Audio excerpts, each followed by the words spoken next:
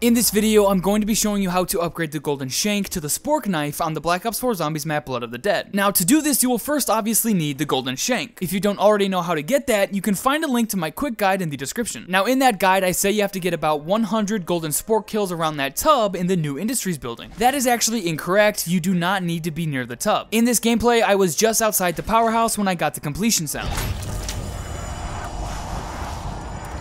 And as you can see, the tub then changed to blood. Huge thanks to Coaster Maniac and Mikey Myers for confirming this. So after you pick up your golden shank from the press machine, go back to the tub of blood and interact with it. When you do, the skeleton hand will rise and take away your shank. Now, if you make your way to the middle of the catwalk near the water tower, you'll see a knife and Sal DeLuca's prison number stuck to this sign. What you have to do is kill a warden with your knife near this sign. What I would recommend doing is saving a zombie at the end of the round and then spawning in a warden with the Citadel number pad. After that, bring him over to the catwalk. Now, I think the easiest way to do this is by shooting the warden until you knock off his helmet. You could even shoot him once or twice after that if you wanted, but just be sure not to kill him yet. Once you've brought him near the sign, simply lunge knife him until he dies. If you have Ethereal Razor in your modifier slot, you should only have to knife him about 5 times. When he dies, Sal's prison number will fall down to the ground like so. Now all you have to do is return to the tub and interact with it to get the spork knife. This melee weapon seems to be an infinite one-hit kill whether it's a swipe or lunge. You can even one-hit kill wardens. Well, that's pretty much it for this video, so thanks for watching and I will see you in the next one.